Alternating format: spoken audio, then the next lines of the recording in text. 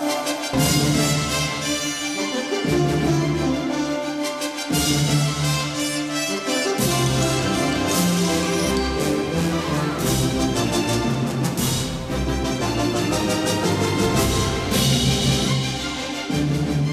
from the Pope John Paul II Cultural Center in Washington, D.C., Raymond Arroyo. Good evening. Good evening. Welcome to the World Over Live. We've got a, fantastic show for you tonight. As a Christian is beheaded in Somalia and China finances the regime in Sudan, the U.S. Commission on International Religious Freedom, which tracks religious freedom around the world for the U.S. government, is facing extinction in Congress. To discuss it, we'll be joined by the man who proposed the bill that created the Religious Freedom Commission, Congressman Frank Wolf of Virginia, a tireless human rights and religious rights advocate. He'll also discuss his new memoir, Prisoner of conscience. And later, he's one of our greatest novelists. Author Ron Hansen is here. He comes back to discuss his searing work, how his faith shapes that work, and his two most recent novels, A Wild Surge of Guilty Passion and Exiles. So get your questions ready. We'll take as many as possible. Give us a ring, 1 800 221 9460 in the U.S. and internationally, 205 271 2980, or drop us an email at worldover at EWTN.com com. Let's get started. Here's the brief news from the world over this week. Bishop Robert Finn and his Diocese of Kansas City St. Joseph were indicted this past week on a misdemeanor charge for failure to report child abuse. This after the diocese waited five months to inform civil authorities about hundreds of images of children, many pornographic, discovered on a priest's computer. Bishop Finn and the diocese have been cooperating with civil authorities in the investigation, and the bishop has previously apologized for his handling of the matter. The indictment is the first for a U.S. bishop related to clerical abuse. Bishop Finn and the diocese have pled not guilty to all charges. The bishop faces a maximum penalty of one year in jail and a $1,000 fine if convicted of the misdemeanor. And in Egypt, the country's top reform leader offered his condolences to the Coptic community after more than 20 of its members were killed during a Cairo protest two weeks ago. Mohammed El Baradei on Sunday called for an independent investigation into the deaths. Many of the victims were killed when armored military vehicles sped through the crowds of protesters. Others were shot. Meanwhile, the head of the Coptic Catholic Church, Cardinal Antonius Naguib, called on government officials to bring security and safety to Egypt. He's hopeful that the transitional government will ensure the, quote, well being and dignity of all its citizens, end quote. And in Sudan, President and strongman Omar al Bashir said the overwhelmingly Muslim nation will soon adopt Sharia law. In a speech to students in Khartoum this past week, al Bashir said Sudan's official religion will be Islam and Islamic law the main source. 98% of the people are Muslim, and the new constitution will reflect this, he said. Sudan's current constitution provides for freedom of religion, at least in theory, recognizing that Sudan is, quote, multi religious. Al Bashir continues to face an indictment in the International Criminal Court for crimes against humanity in Darfur. More on religious freedom and human rights around the world in our next segment. And a major ruling out of the EU, European Court of Justice this week. The High Court of the European Union ruled that patents cannot be granted for military research involving the destruction, medical research, rather, involving the destruction of human embryos. The patent ban effectively removes any and all financial incentives for embryonic stem cell research in EU member nations. According to the decision, the deliberate destruction of human embryos is, quote, contrary to morality. EU law prohibits patents for interventions based on immoral practices. In reaching the decision, the court found that a human embryo is a developing human being and therefore has certain rights. And the spin offs of the Occupy Wall Street protests in Europe have erupted into violent, uh, violence at times, while protests in Rome turned sacrilegious this past weekend. Amateur video captured the moment when a hoodlum ransacked a church and stomped on a statue of Our Lady of Fatima. A large crucifix from Saints Marcelino and Peter Church was also destroyed. Occupy Rome organizers plan to march from a city center square to the Basilica of St. John Lateran. But groups of young people soon began vandalizing, looting stores, setting cars on fire, and clashing with police. Vatican spokesman Father Federico Lombardi said the mob violence that took place during the unrest or protests in Rome was unacceptable and unjustifiable. And activist and acclaimed Hollywood actress Susan Sarandon has come under fire for calling Pope Benedict XVI a Nazi. Sarandon made the remark during a public discussion at a film festival this past weekend when she made reference to the movie Dead Man Walking, in which she played Sister Helen Prejean. Now, Sarandon told an audience in the Hamptons that she'd sent a copy of Sister Prejean's anti capital punishment book to the Pope. Clarifying, she said, the last one, not this Nazi one we have now. The discussion moderator attempted to blunt the comment, but Sarandon repeated the epithet. Both the Catholic League and the Anti Defamation League denounced Sarandon and called for an apology. Bill Donohue of the Catholic League said her ignorance is willful. Those who have hatred in their veins are not interested in the truth. And Abram Foxman of the ADL said her remarks were deeply disturbing, offensive, and completely uncalled for, an attack on the good name of Pope Benedict XVI. And Pope Benedict is perhaps slowing, or showing rather, the signs of age, at least physically. On Sunday, the Holy Father, for the first time, used a rolling platform to make his way down the center aisle of St. Peter's Basilica for Mass.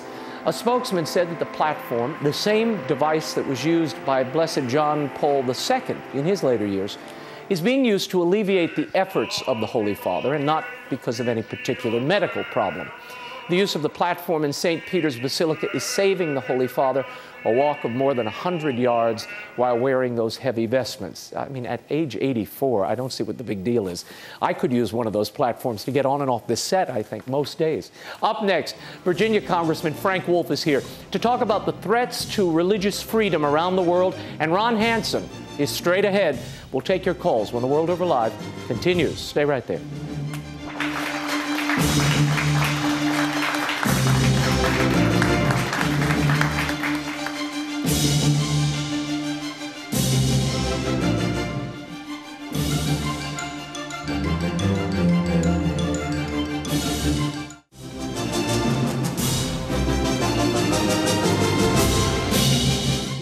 Once again, Raymond Arroyo.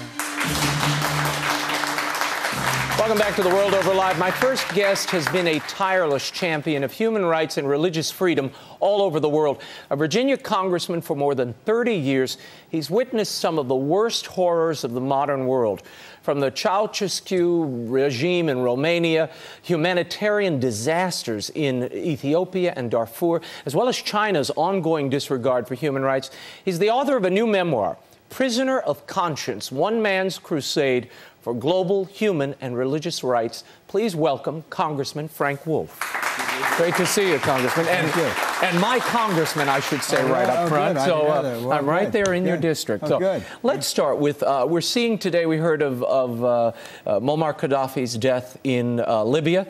This Arab Spring seems to be creating more instability than, than uh, a flourishing of freedom. Your thoughts on this and what this portends for human rights and religious rights throughout the Middle East? Well, I, I don't know. I'm concerned. I was in Egypt a couple months ago. I was there in July. I met with the Coptic Christian community, and they're afraid. They are afraid. And I also met with the Muslim Brotherhood, and I talked to different people, and there is real concern that the Muslim Brotherhood and the Salafists may very well win the next election.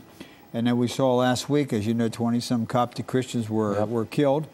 And so uh, in Egypt, it could be it could be bad. Uh, in other places, uh, Tunisia probably good.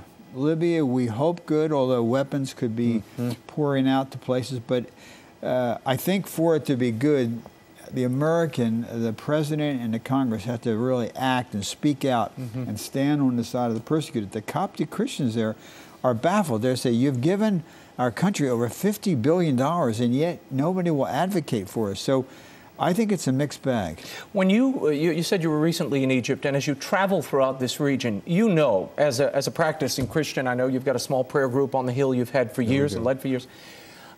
When you look and realize this is the cradle of Christianity in the world, when you're talking about the Copts, when you're talking about uh, Christians uh, around the Holy Land, uh, in Jordan, uh, uh, what, what, what is your thought? What is your concern? Do you think we're going to lose this, this living Christian tradition in the Middle East? I, I worry about that. We just had a bill passed in the uh, House, which is blocked in the Senate. We hope that it passes tonight or tomorrow to set up a special envoy in the State Department to advocate for Christians and other religious minorities in, in the Middle East. But you have uh, the, uh, Shahbaz Bhatti, who was Catholic, who was gunned down in Pakistan. You have the woman Bibi, who's in prison in Pakistan. Look at all the money we have, we've given there. Right. The Coptic Christians are going through a very difficult time. And the Assyrian Chaldean Catholic Church in Iraq is under greater pressure. More biblical activity took place in Iraq than any other country other than Israel. Abraham Yep. was from Ur. I I was in Nasiriyah, which is now uh, uh, the Ur. I went to the location. They said where, where Abraham's house was. Uh, you have Daniel's buried in Kirkuk. Esther, and the, the Assyrian Chaldean Christians are being slaughtered. You had 56 killed in the church last uh, year. About half of them have been forced out, pushed into Jordan, uh, Damascus, uh, uh, Syria. And I really worry, and that's why I believe the church in the West has to become much more open and aggressive to advocate for the Christians in the Middle East. Otherwise, we're going to empty the Middle East out. And if we lose the Christianity in the Middle East, mm-hmm. it'll, it'll be bad. Congressman Wolf, you were instrumental in 1998 creating something called the U.S. Commission on International Religious Freedom. This is a watchdog group of experts and activists who really traverse the world watching and rating religious freedom and human rights around the world. They report both to Congress and to the State Department. Correct. Now, they are in very huge danger right now of not being funded. This could be the end of this commission. What does the commission do, and why is it not? Why is Congress not allowing this group that's done so much good to continue? Well, the commission bill passed the House uh-huh. overwhelmingly. It's now in the Senate.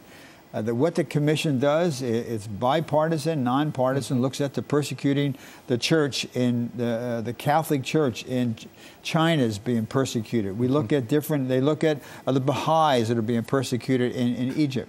Why it would be controversial, I'm not sure. One senator, one senator, the Senate has strange uh, laws and rules. One senator is blocking it Anonymously. anonymously. They have what they call these secret holds. And for some reason, we just can't get it passed. And I would think that senator uh, would say, well, look at what's taking place with regard to the Coptic Christians. Look what's taking place.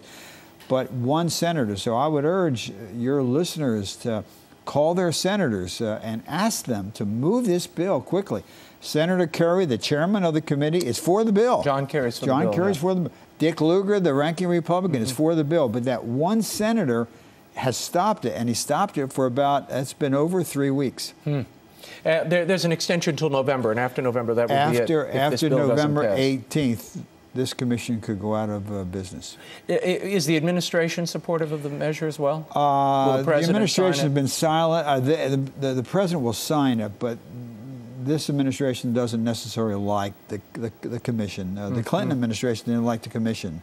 Uh, But I think clearly if it passes, it passed the House overwhelmingly, Mm-hmm. will pass the Senate overwhelmingly, uh, I think the president will sign it. Now, you discovered, and you reveal in the book, uh, Prisoner of Conscience, the uh, complicity between the Chinese government and what we've been seeing over the last few years in Sudan.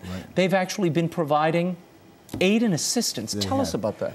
Uh, Sam Brownback and I, uh, Sam was the senator, he's Mm-hmm. now a, a governor in Kansas. We were the first two to go to Darf- Darfur. Mm-hmm. In Darfur, where there is genocide, the Chinese are aiding them. The Antonov bombers that fly over the bomb coming from support. And they're from- bombing their own China. people, Bombing their say. own people. Yeah, this is Uh, Christian the- and animist populations Right. there The in Soviet Hind Sudan. helicopters come in and coming from Chinese support. China just welcomed several months ago President Bash, Bashir. Bashir invited Osama bin Laden. Bin Laden lived in Sudan from 91 to 95. Bashir is an indicted war criminal. President Hu Jintao, who's cracking down on the church in China, gave Right. him a red carpet welcome. He's been indicted by the criminal court, and just the other day, the governor of Malawi mm-hmm. invited Bashir to come in, gave him a red carpet treatment, and we in the United States are giving Malawi a Millennium Challenge grant of several hundred million dollars, and in the administration's budget is over $200 million for him, and nobody's saying anything. Bashir has been responsible for the death of hundreds of thousands of people, and the number one supporter of Bashir is China, and the largest embassy in Khartoum is the Chinese government. Is the financial situation and the fact that China is in large part America's landholder or, or landlord uh, because of the money being loaned, is that in any way restricting America's moral voice on these human rights and religious rights around the world? I think it is. China is our banker. Mm-hmm. China is our banker in Saudi Arabia. Saudi Arabia, which funds radical Wahhabism, what's mm-hmm. created those madrasas on the Afghan-Pakistan border, and China, China spying against us, stealing secrets, has cyber attacks against most major companies. The Chinese are, are persecuting the Catholic Church. The Bishop of Hong Kong was in to see me. He was in to see Chris Smith and me uh, three three months ago. Mm-hmm. Said what's taking place. The Cardinal Kung Foundation will tell you there are a number of Catholic bishops under house arrest. Protestant pastors are being arrested. They're plundered to Tibet, and yet they have us. They're our banker, and they're. It's, it's like your banker, your personal Yeah. banker. He's holding would your be- loan. Eh, exactly. Yeah. So so it so it stifles the, the It voice. stifles it, and not only you remember the song by Simon and Garfunkel, the boxer. It said, "Man hears what he wants to hear, and mm-hmm. disregards the rest." We're disregarding that, and this administration is mm-hmm. disregarding. They will not speak out. When President Obama, the 2009 mm-hmm. Nobel Prize winner, put on a dinner for Hu Jintao, the president of China, the 2010 Nobel Prize winner Xiao Bo was in prison and under house arrest. China is doing bad, bad things and Yeah. stealing our jobs. It's unbelievable. Uh, a recent Pew study found that nearly 70% of the world's population lives in countries with high restrictions on religious freedom. Who will speak out on these issues if the international Com- or if, if the U.S. Commission on Religious Freedom ceases to exist, and if you can't get a bill with some advocate to raise a voice in the United States on behalf of these populations? Well, it would be up to the administration, and if uh, uh, they have not spoken out, if you recall when the Coptic Christians were killed last week, the president, uh, press secretary Carney was very, very weak. Uh, They have not spoken out about the persecuted of the church. Uh, they have not spoken. I, I don't know. Uh, and if you watch the last presidential debates, none of the questions coming from the media have been on human rights and religious freedom. Not one. No. Not No, one. well, they're too busy worried about, you know, 999 plans and these other yeah. side issues. Who's up, who's down, But who you know, likes man does that. not live by bread alone. I agree. And, uh, I agree. And the president is he, part of his the important part of his job as commander in chief is engaging the rest of the world and leading the rest of the world. But when you lose the economic power, you're on the appropriations committee as well. When when America loses its economic power, it also loses its moral standing in the world as well. it- its ability to influence other it countries. does. It, it does. And if you recall, in 1956, the British and French invaded the Suez Canal. Mm-hmm. President Eisenhower told them to get out. They refused. Eisenhower said, dump their paper. We began to dump their paper. They got out, and they Mm. were never again a great country. When you lose your economic ability, and that's why another issue, we've got to control this debt Mm-hmm. and deficit and deal with it. Uh, we, we just recently heard this week of a 17 year old Christian boy beheaded in Somalia uh, by Muslim extremists. We are seeing this, um, the outbreak, if you will, of this radical form of Islam. We are. How do we deal with this? Well, first of all, I think the church, one, I think the government has to speak out. Our government, our president, our, our Congress, the Religious Freedom Commission. But the church in the West really needs to speak out more. There used to be almost, most churches on a Sunday, one Sunday a, year had a religious freedom Sunday. The church needs to advocate, and that's what confuses the Christian in the Middle East. They say, why isn't the church in the West speaking out for us? And I mm-hmm. think until that time, mm-hmm. bad things. Nothing's going to happen. Let's go to the phones. Joe from New York. What's your question, Joe? Hi, Raymond. Good show. Oh, Um, thank you. I was just wondering in Libya what the percentage of Roman Catholics are and what their lifestyle is like. I'll hang up and listen. Thank you. I don't know in Libya, but pretty in, tiny population. Very, very tiny. But in Morocco, where we're giving them a large amount of foreign foreign aid, they have expelled a lot of the Christians from the country. Uh, there were a large number in certain, but in, in Libya, I do not know the answer. Well, I mean, you look at a place like Egypt that we that have been the beneficiary of billions of 50, American over dollars. 50 billion. And yet, you have Coptic populations. I've seen, I- you know, I've, I've spent a little time there, and to see these young girls running for cover, afraid they're going to get, you know, snatched or raped or abused, because this is seen as a conversion technique. Yeah, Chris Smith has had some interesting Mm-hmm. hearings on, on the convert. Yeah, they do. They kidnap these and young Coptic yes, girls and exactly. uh, you know uh, impregnate them essentially, and then force them to have Muslim children and bring them into the fold. It's really barbaric what's happening there, and uh, you know, thank goodness you're raising your voice and others like you. I want to talk about something in the book that, uh, in Prisoner of Conscience, you talk about. I mean, you were here. You are. You get out of law school. You you were in the army.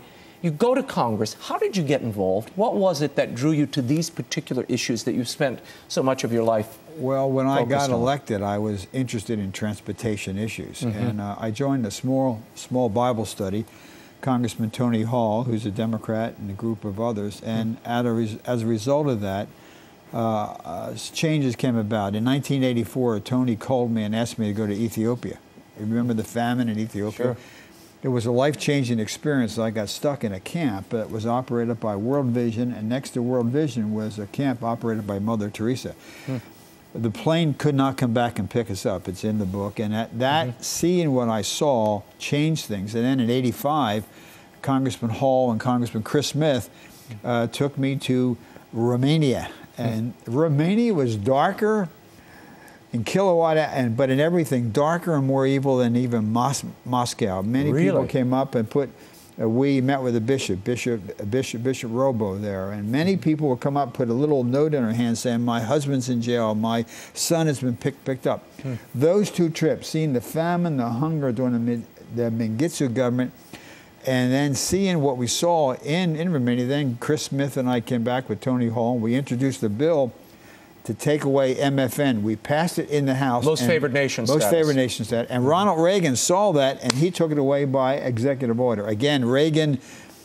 Reagan cared about these things, but that's what got me interested. Mm-hmm. The trip in '84 because of Congressman Tony Hall, Mm-hmm. and the trip in '85 with uh, Tony and Chris. And you've been at it all these, these years, almost 30 years, more than 30 years now. Yeah, more than 30 years. Yeah. Well, let's talk for a moment because we have a lot of international viewers before we go. We have people watching in Ireland and England, uh, even in Africa. What of the international community? There was a time, we were talking in the break, when you had John Paul II, you had Maggie Thatcher, you had Reagan, you, uh, world leaders all across Europe and the United States concerned about these issues. Do you have that same uh, awareness on the internet in the international community that you once had? No, I, I don't think so. In fact, is um, if you know the story, Shahbaz Bhatti was in the Pakistan government. Uh, he w- we were trying to get him an armored car, and they wouldn't give it to him. He was gunned down coming out of his mother's house about four four months ago. There was barely any comment at all around around the world. No, we do not have. Uh, we do not have the great leaders speaking out on, on those issues. I'm sure they're out there. I don't know why their voice has been muffled, but no, I, I cannot say that they're out there. handicap this for me. Do you think your Commission on Religious International Freedom is going to uh, stand, or I- are we going to lose it this year? I think it will because if this if this senator, whoever he is, doesn't, uh, how will he explain that? But I, I will keep you informed and let Yeah, you know. please but do. my hope and expectation is that it will. okay, our final question. We have a call from Tony. Go ahead, Tony. What's your question? Yes, my question is Are we involved in a Cold War with China, or we're just not admitting it? Are we're involved in a Cold War? Uh, we, we ought to be doing everything we can to bring about freedom and democracy in, in that country. I believe the Chinese people are good. When Chris Smith and I went there last year, If you go on an internet cafe and hit Chris Smith, hit Frank Wolf, hit the Dalai Lama, nothing comes up. We have the ability to bypass Facebook. We could change that government. But right now, because, and you raised the issue, because of the mm-hmm. debt that we owe them, mm-hmm. we are really not advocating. GE, the President Obama's jobs guy, Jeff Immelt, has created more jobs in China. GE just moved their healthcare facility to China. Hmm. GE just signed an avionics deal with China to do their avionics for the aircraft. The iPad's made in China, hmm. the iPod's made in China, the iPhone's made in China. Hmm. So we ought to be, and we should do the same thing that Pope John Paul and Ronald Reagan and Margaret Thatcher did. Tear down that wall. And we have the ability, hmm. and I, my hope is somebody would come along who would be like President Reagan, who would advocate. Reagan said again, the words in the Constitution and the words in the Declaration of Independence were a covenant with the entire world, not just the people in Philadelphia mm-hmm. in 76 or 1787, mm-hmm. but with the entire world. You know, and also I think one other thing, and I'll end with this sure. the power of prayer. I was at an event in 1990, it's in the book, and a lady mm-hmm. said, Why do I think the, the Berlin Wall fell down and communism failed? And I said, Well, Ronald Reagan put in the cruise missiles, and Ronald Reagan did this. She said, No, that may have helped. She had a broken accent. She said, Millions have been praying for the defeat of communism. And I said, Oh my goodness, my mom and dad taught me to pray for the defeat of communism. And I think she's right. I pray, I know this could be controversial, I pray every night that the current regime, government in mm-hmm. China will collapse peacefully, mm-hmm. peacefully, that they will collapse. And I think in my lifetime, and I'm 72, Mm-hmm. I think we may see the demise of this Chinese government. And then the church can worship and everyone will have the freedom and then we can be together. But mm-hmm. as of now, we're not standing up to the Chinese. Mm-hmm. Very good. Congressman Frank Wolf, thank you for being here and for the book Prisoner of Conscience One Man's Crusade for Global Human and Religious Rights. It's available at bookstores everywhere and online. It's a fascinating read, particularly in this whole issue. And you're, you're I mean, you're really like a, a living encyclopedia of, of, human freedom, religious freedom, and, and uh, you've, you've seen it all. And it's really quite something. Thank you for the book. When we return, we'll talk about faith inspired fiction with novelist, professor of literature, and deacon Ron Hansen. The World Over Live continues in a moment. Stay right there.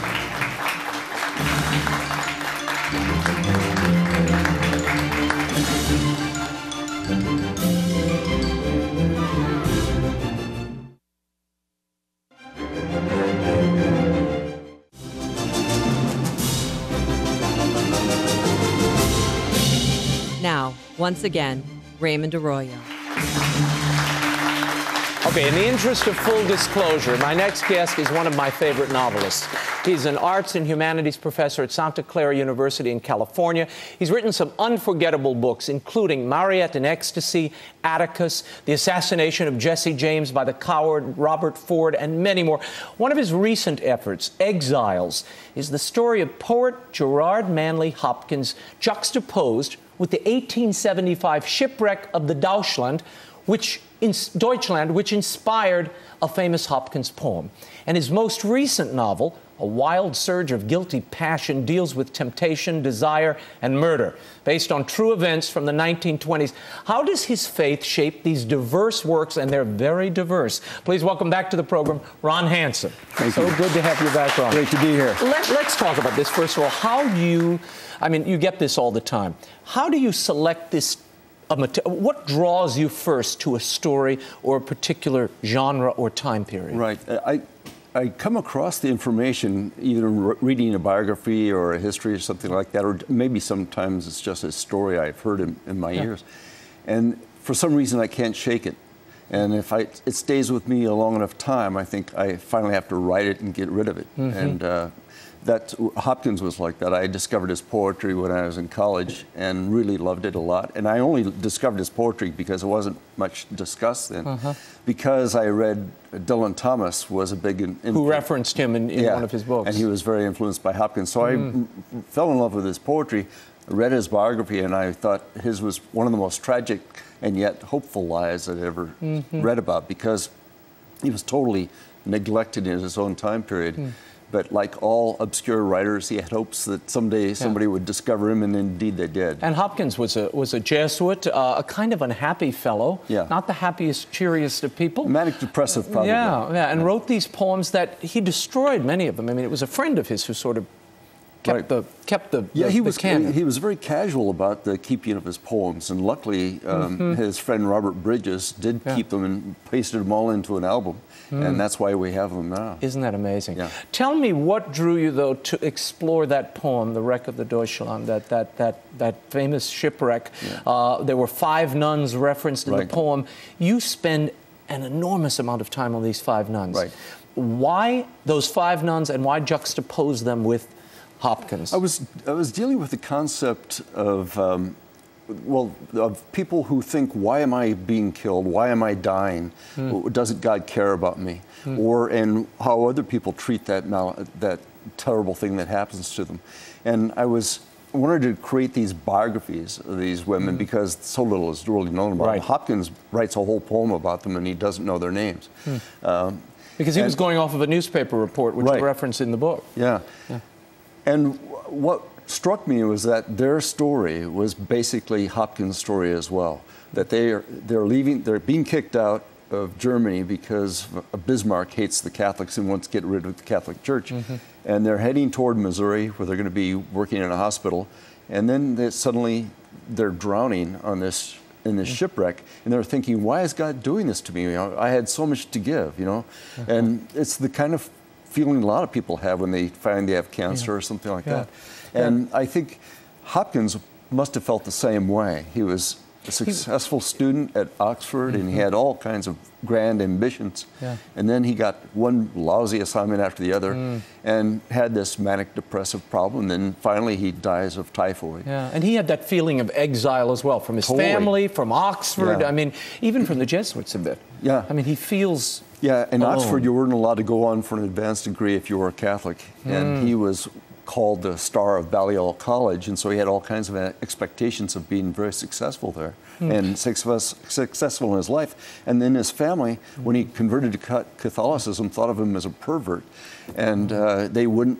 They never attended any of his masses, never saw him at all until he was on his deathbed. Hmm. Yeah, I was going to ask you at the end of the book, at the end of Exiles, which is a beautiful lyrical uh, uh, book, and it gets into the lives of these Franciscan sisters. Yeah. Um, beautiful. I mean, the, and the personalities emerge. You see the character uh, uh, dysfunction as well as the, the really grand joys of these people. And when faced with imminent death, it's I mean I, I don't want to ruin it for people, Yeah. but you, you really see the measure of these these women, and uh, you know they, they aren't all uh, ideal heroes, No. but the faith shines through them Yes. in different ways. Hopkins was drawn to writing the poem because Mm-hmm. of a tall nun who shouted out, "Oh Christ, come quickly."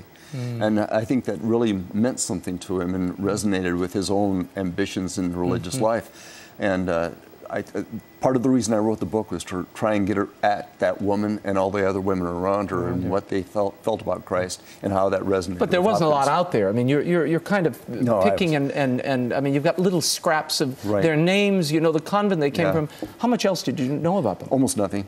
Uh-huh. But what I did was I looked at uh, founders of religious orders, uh, Mm-hmm. foundresses, I guess, Uh-huh. of religious orders, and looked at their, read their biographies, and so I took details from all those women and and put kind them of in weaved there. it all together. Yeah. Yeah, it's fascinating. It's a beautiful book. Uh, if you'd like to uh, comment or you have a question, uh, give us a ring 1 800 221 9460 in the U.S. and internationally.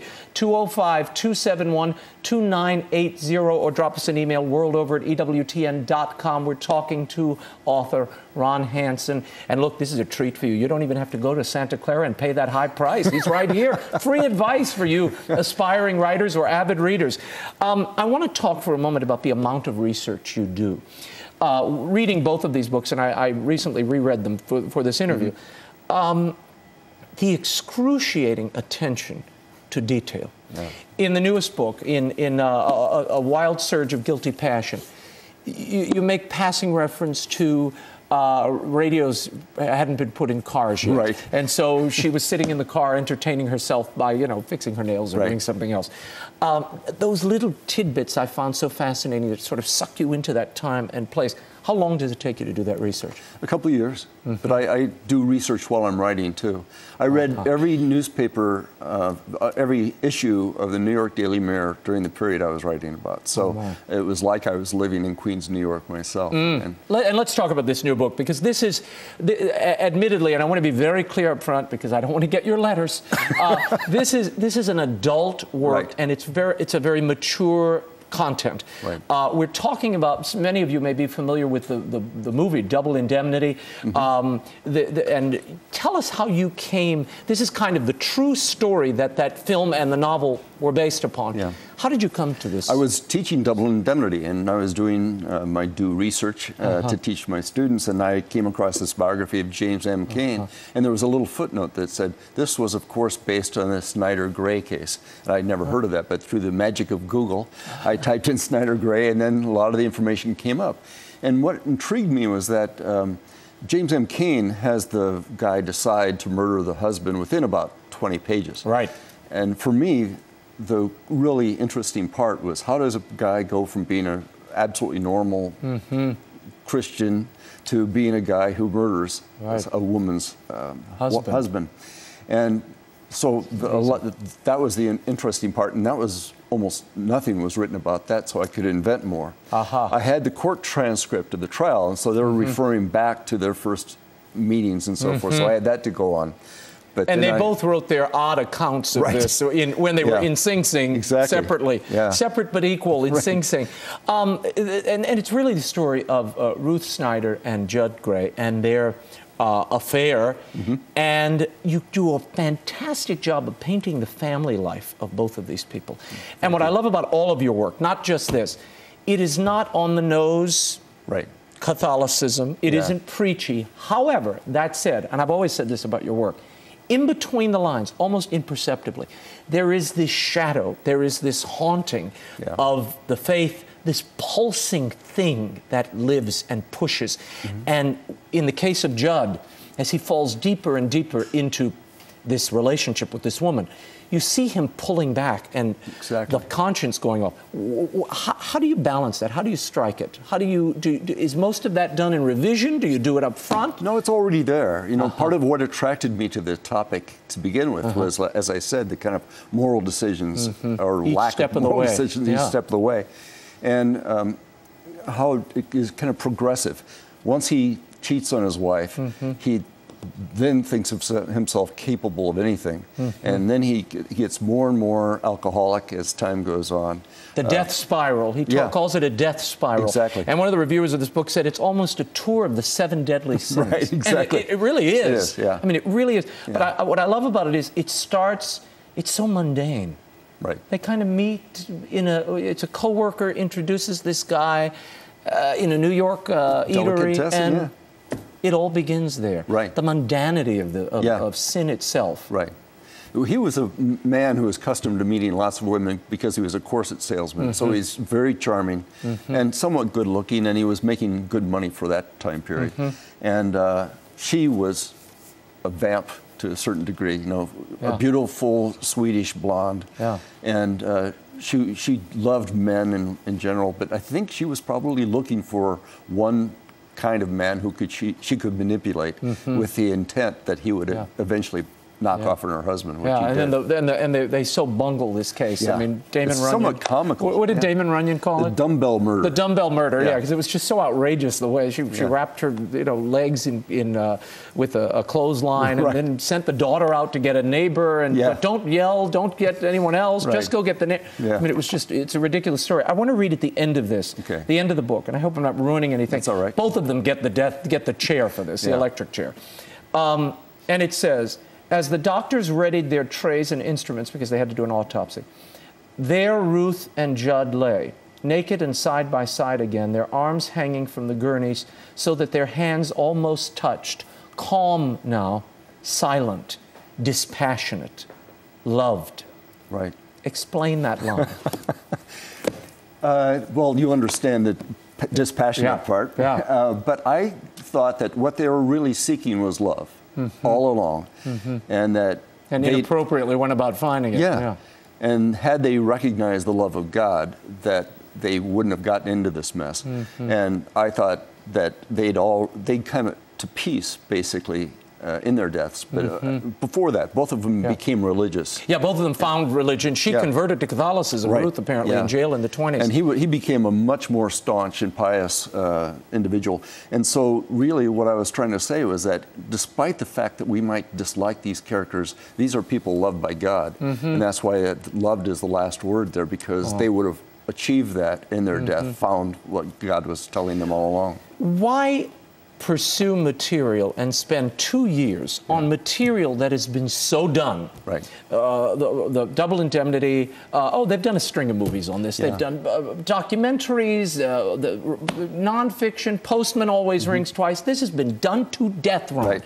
What did you bring to it? Do you think that hadn't Well, been I think it's that before? the the Christian message Uh-huh. un- underneath it, and to as the somebody says, you tour the de- seven deadly sins, Right. but you come at the other end reali- realizing that this is the wrong thing.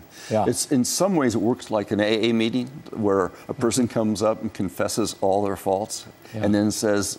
Then I got sober and life is much better. Yeah. And the same thing I think happens there in this Yeah. way. Well, There's an enforced sobriety for Judd, Yeah. uh, and uh, both of them came to understand exactly how wrong they were. You, you know, in one of your books, uh, your earlier books, you wrote a faith inspired fiction squarely faces the improbables of life. Right. What improbables do you Well- face both in both of these books, in, in Exiles as well as in uh, Wild Surge of Well, I, uh, and I think I meant improbables as um, the virgin birth, um, supernatural things, Ah. Okay. uh, grace, you know, Ah, all those okay. things. And I thought that fiction should actually address those issues that all of us are familiar, or most of us are familiar with. You know, the power of prayer. Yeah. um, and the feelings we have when we pray for others, that God is rewarding us in some way. What I have always loved about your work is you could very easily today be the Louis L'Amour of, of uh, literary fiction and historical fiction because Desperadoes and the assassination of Jesse James were such well drawn, powerful narratives. They too have this same pulsing sense of grace beneath them, around them, in them, of them. Why do you swing so wildly from one genre, one Yeah. time to another? And uh, are you worried, just from a, as a writer, that your audience isn't, they, you know, look, they like to know, oh, he's the romance Right. writer. Yeah. He's the mystery writer. Right. He's the religious writer. Yeah. Yeah, I'm not a brand name, and it's because of that. Your brand name in my house. Oh, if I- thank you. And let me tell you, not only in my house, the, some of the best writers in the world, from James Lee Burke. In fact, we did our 15th anniversary Oh, special. that's great. And the intro to you was Ron Hansen's one of the greatest writers. It's like Babe Ruth in the World Series. This guy, and you know, and then we He's went a to great you. guy. Oh, he's fantastic, Yeah. and, a, and a beautiful lyrical I writer. love his, his books, yeah. Uh, but well, you all have uh, that- that sensibility is the same. That sense of grace beneath all of the ugliness and horror Right. of the world. It's Yeah. there. It's still there.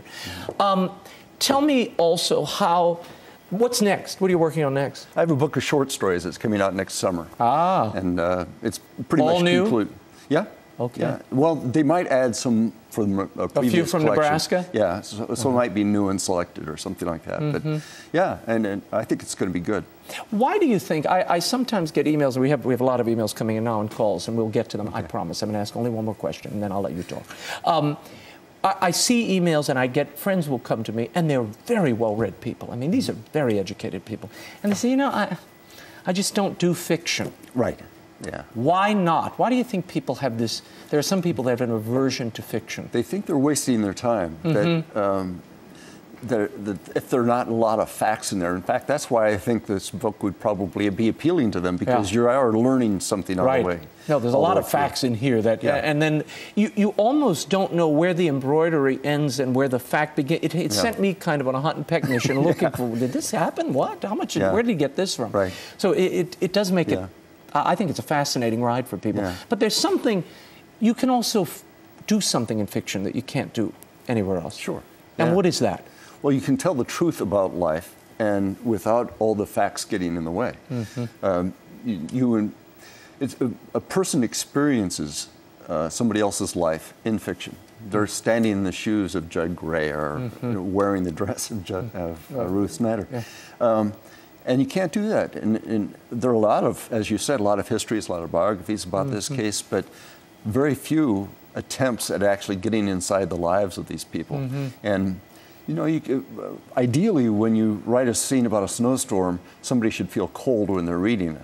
Mm-hmm. And uh, that's what mm-hmm. fiction does, and you don't feel that way when you're reading nonfiction. Yeah, I agree. Uh, this is an email from Susan, and she writes um, There's a slippery slope in the world today that encourages writers who are Catholic to check their values at the door. In other words, if you aren't embracing the secularism of the moment, you may never see your work published in a venue and make a living. Do you have any recommendations for Catholic writers who work in the secular press or writing and want to make a living? Right. You know, when I was first writing Mariette in Ecstasy, I asked an editor if he would publish a book about a nun. He said no. And I said, oh, well, that's what I'm working on. He says, oh, well, if you're doing it. and so I did get it published. But there is that, uh, you know, what she says is real. There's a, mm-hmm. a, a, way of being put off by that subject. But if the, if the work is good enough, I think mm. they're they're receptive to it because they think of it as kind of an, an exotic, yeah, mm-hmm. exotic territory. Mm-hmm. Something exotic. Flannery O'Connor used to talk about that, about that, you know, the obligation. What was it? The obligation of the Catholic. You can't be just good enough. You have to be better than. You have to right. be superior yeah. because of those obstacles that you talk about. Yeah. But when you when you see examples of it, uh, and and it and it's really working, there's nothing like it. There's right. just a depth to it that makes exactly. it. Exactly. It's like truth. You're, you're writing in a chromatic scale rather than black and white because uh-huh. you're aware of God and uh, the sacraments. You don't find it things. limiting. As no, some people would say, oh, it's limiting and you're a deacon. That's yeah. got to limit, that's got to put shackles is, on you when you go to the page. I know. People do worry about that. And obviously this book is not yes, this by... book would disprove that, wouldn't it? yeah. No, but, it, but I, I would argue that, I would bet that, I'm going to ask you, and then I'll give you my yeah. impression. How has it changed your writing, being an ordained deacon? How long have you been a deacon? Three years, four years? Five years. Five years now? Yeah. Mm-hmm. Um, it hasn't really. Mm-hmm. I think one thing you're aware of is the peak moments in people's lives because that's you're participating. You're, along you're doing funerals, weddings, baptisms, and mm-hmm. all those things, and you see what's what is real about people. And mm-hmm. I'm I work as a spiritual director sometimes, and so you oh. r- realize what's gnawing at people, what mm-hmm. happens in their lives, mm-hmm. and it makes you be more realistic about what's going on in the world, I think. Mm-hmm. No, it's, it's, it's real world. I mean, I, two of my friends are nuns, and they were fighting over the book. They couldn't put it down, and I thought that was great. I told that to my publicist. She thought it was wonderful that nuns are fighting over this book. Let's go to Marie from Montana. Go ahead, Marie. What's your question? Oh, my goodness gracious. It's really a comment. Okay. I work here at the public library in Great Falls, Montana. Okay. And I, I happened, I know now it was providential. I found the book on the shelf. Which book? His Exiles. Okay. okay. The Exiles, Ron Hansen. Oh, yeah. And I could not put it down. It's the best book I've ever read in my entire oh, life. You. And I've read a lot. But anyway, I had heard a homily by one of our priests, and he had mentioned Gerard Manley Hopkins. And of course, I do have a prayer book with some of his. Yeah. And I was fascinated by the book. And just yesterday, oh. I, I uh, recommended to a really good friend of mine from the military base. She's a good Catholic lady. Okay. And I, I, I can't say enough about the book. It's powerful in, in so many ways. They mm-hmm. should make a movie of it. It'd be better mm-hmm. than the Titanic. Ah, I, I like that too. You, yeah. Thank you. Thank you. Thank you, Marie. Well, there you see, right? many people. And, you know, it's the, the I, I think what Marie is getting at, she almost said it there you carry it's not only you don't only go through and enjoy the ride and the characters and the nuance and the detail. When it's over it's like you carry this with you. Oh, i hope it's, so you, you take a you take the atmosphere the thoughts you stick with it. It stays with you. Right. there's so few let's be honest. How many books do you read that really stay and linger with you?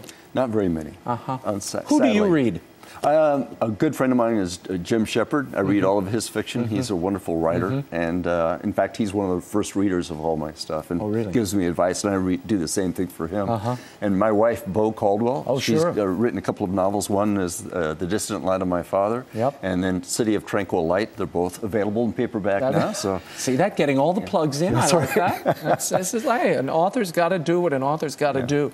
Um, let's talk a little bit about how the teaching. How do you teach? Can you teach your approach to writing? You can teach somebody to improve their writing. They have to come up with the ideas themselves, and then you say, you know, I think you went a little off track here. Mm-hmm. Maybe you should build up this scene or burnish this prose a little bit. It's little things like that. But I'm getting at something else.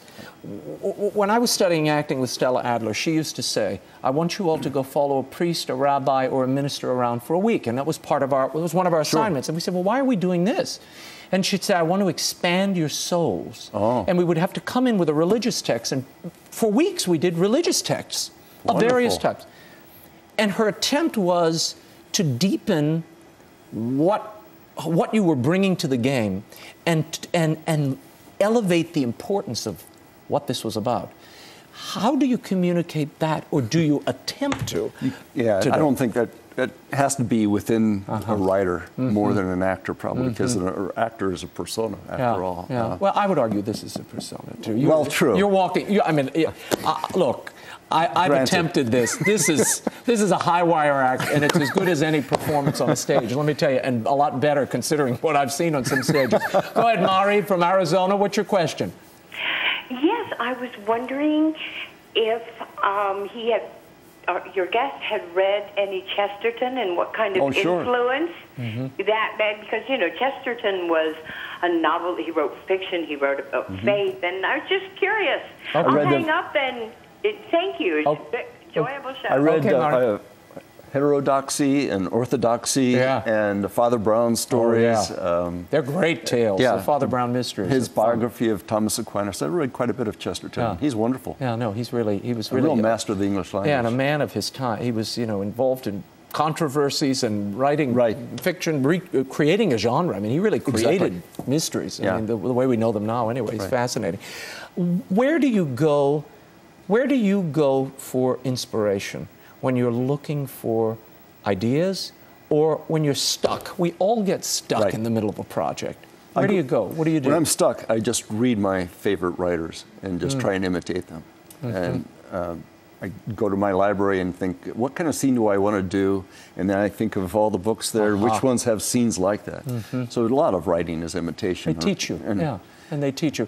And the mass, I know, is a daily routine in your life. yeah. And that, I, I, And I, things have come out of homilies where I've been stuck. I've heard a line or something. I said, that's exactly what I needed. uh-huh. and then you go and put it in. I put it in there. Yeah. Yeah. Uh, One of the things I love in the in the newest book is you see, you feel that tug. He, you know, this this poor guy. He wanders way, way off the path. Yeah. And he finds himself in church, and they're singing the hymns, and they're almost like a little scourges to him. And then Right. they preach on, you know, Yeah. the things. What is it? The things that come out of a man. Uh, uh, you know, are the things that destroy him: adultery, fornication, lies, murder, and you know, it's like a preview of Guilty as charged. Yeah, everything we're, we're about to see from this poor soul.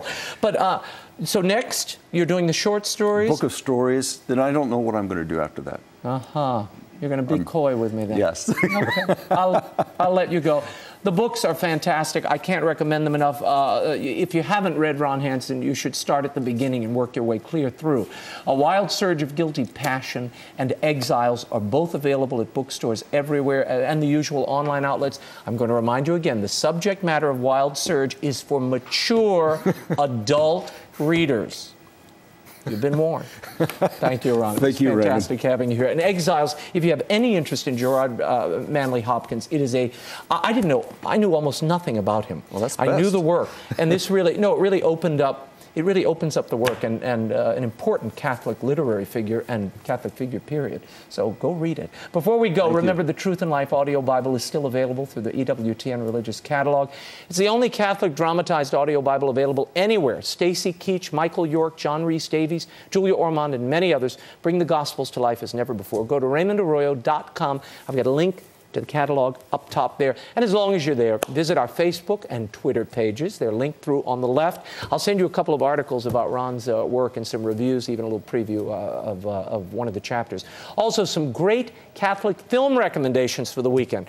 The Emilio Estevez movie, The Way, opened nationwide this weekend Go see it. It's a powerful movie, particularly for those of you dealing with loss or a big change in your life or loss of a loved one.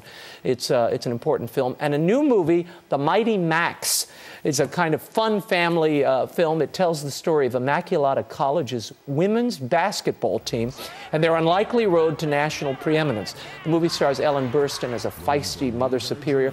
Archbishop Charles Chaput of Philadelphia saw it the other night. He said it's a story of faith and determination, and it's inspirational. The Mighty Macs is also on screens everywhere this weekend. Check those films out. Until next week, we'll be scouting the world over for all that is seen and unseen. On behalf of the staff and crew of EWTN News, I'm Raymond Arroyo. We'll see you next time. Bye now.